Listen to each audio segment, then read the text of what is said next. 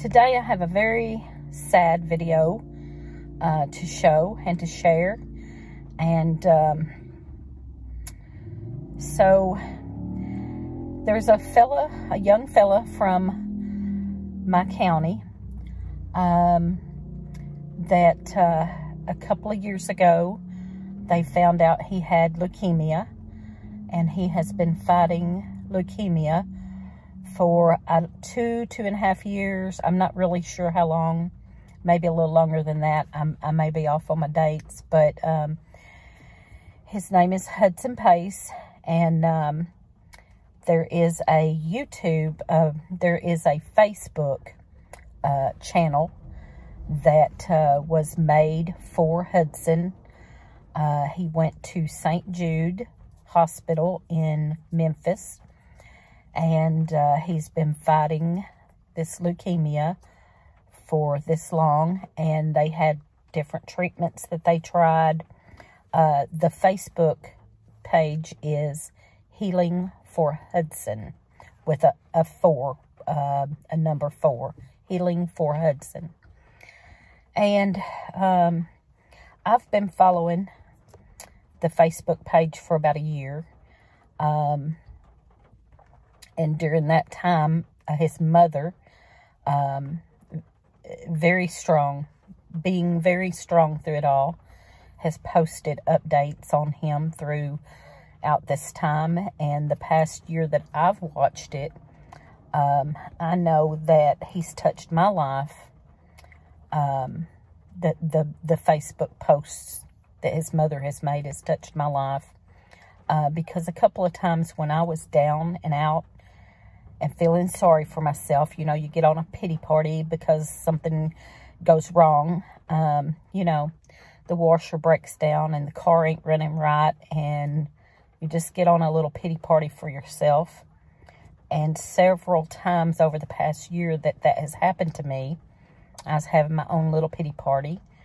And one of his posts would pop up. His mother would update on him and that would pop up on my Facebook and it would really make me realize how little and insignificant my problems were. And it really helped me through some times. And I've heard several other people with the same type of story. I've heard several people who, uh, some way or somehow, um, this boy has touched their life, you know and uh, our whole community, really. Um, a lot of the kids. Uh, I believe he's somewhere around 15, 16 years old. Uh, I don't know ex exact age, but um, somewhere around the age of my uh, one of my granddaughters. Um, so, they had really thought that he, um, they had found a promising cure out in um, another state, and they had sent him out there for this um, um, treatment that they really thought was, it was a new treatment that was promising, and they sent him out there for that. And um, while he was out there, the short time he was out there ready for that treatment, they found more leukemia in his spine and everybody was just heartbroken. So they sent him back to St. Jude in Memphis to decide on, I don't know, more treatment or what to do. And we just found out uh, a day or two ago, um, the post, his aunt had posted that all the treatments had been exhausted. All treatment had been exhausted and they had nothing else they could do. And he is coming home today. And uh, there's been a lot of people praying for this young boy.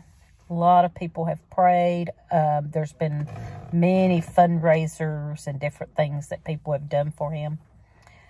And uh, so I'm going to show you what our county, what our community is doing for this young man coming home. this is just another example of how much this community is uh, caring, how caring and loving and um, mm, supportive our community can be. And it always is. There's always been occasions that this community has really pulled together and done things. And uh, I'm going to show you a video here of uh, what they're doing today for his uh, coming home. Anyway, uh, also this boy is, uh, him and his, his family are farmers and uh, farm uh, land here. And um, um, he loves tractors. And anyway, so here's what this community has come out to do for him uh, today. And he'll be coming by anytime. I'm sitting here waiting and watching. He'll be coming by anytime. So people are parked all along the highway, um, all the way down to the school. They're going to start at the school.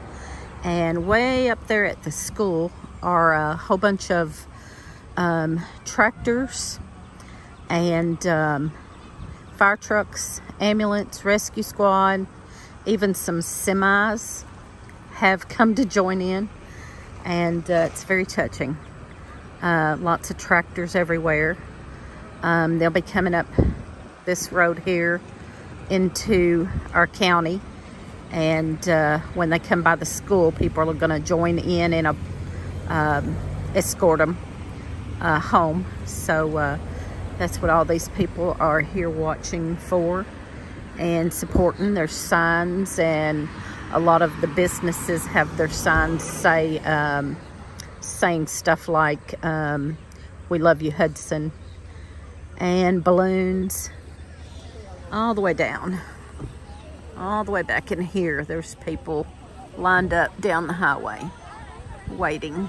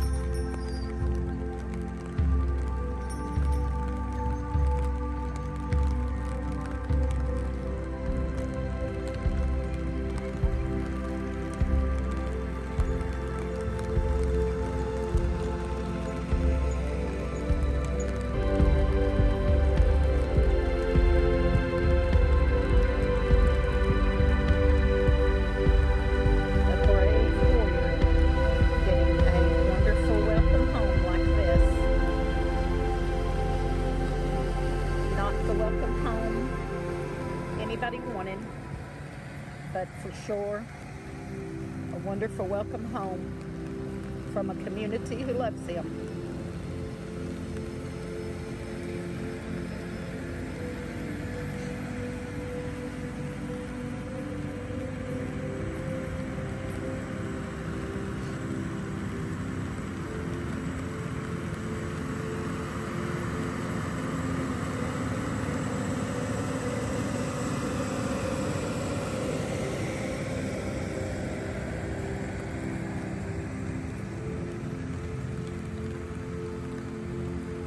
Tractors as far as I can see. All the way up to the school, still coming.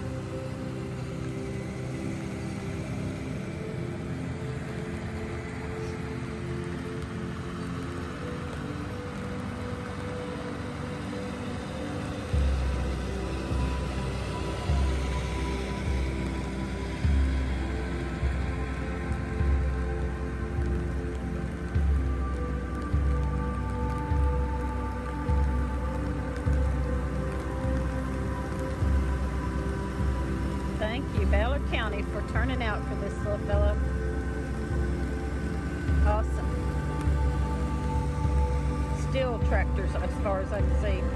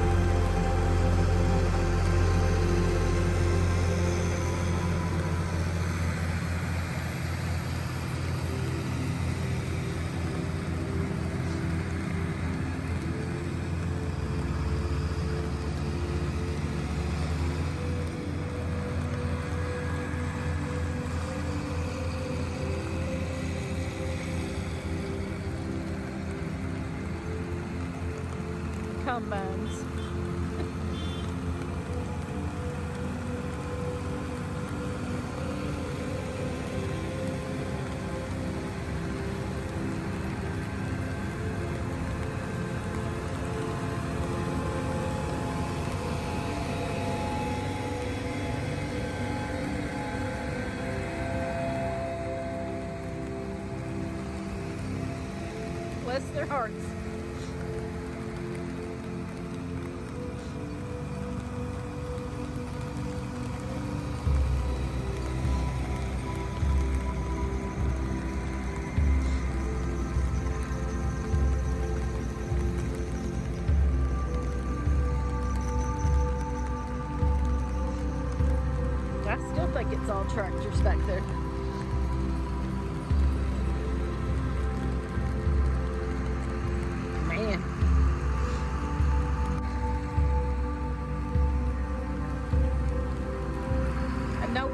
Farming community, but my goodness, at the tractors. I think everybody brought the tractors out. Combines, planters, everything they had. The little fella driving that one.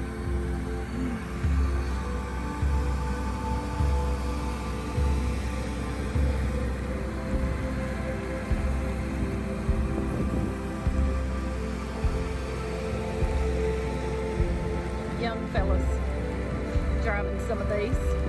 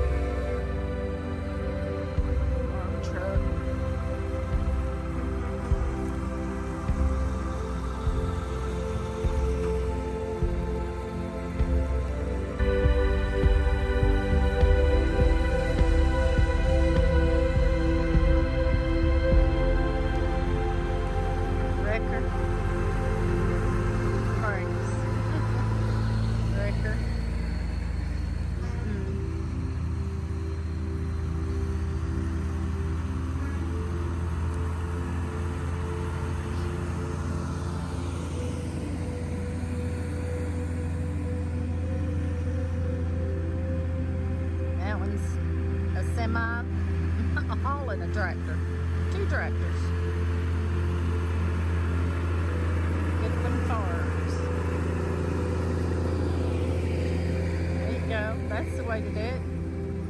Semi and the tractors.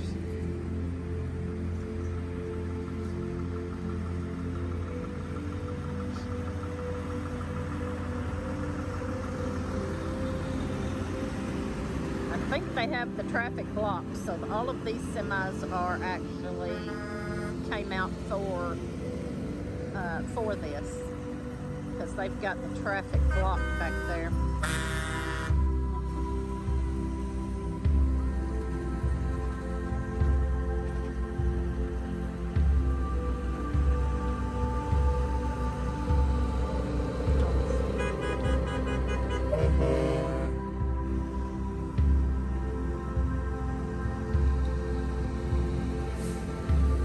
Trucks.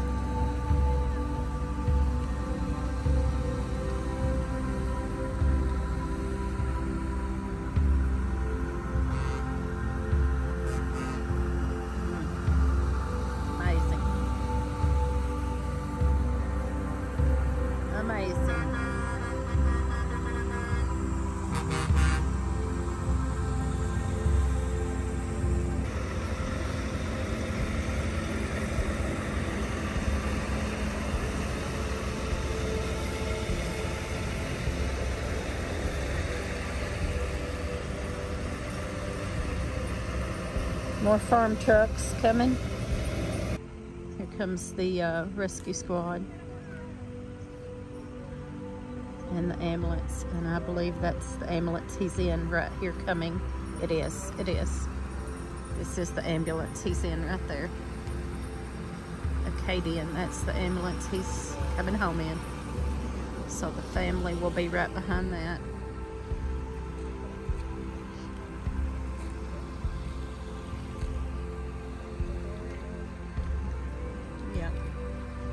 That was the family. And here's some of the more family. Police. Police leading them out. And I believe that's about it. Still police. So that's probably about it. Yeah, I think they're letting traffic through now. So there you go. That's what Ballard County, Ballard County, Kentucky, that's what, how they support a brave warrior.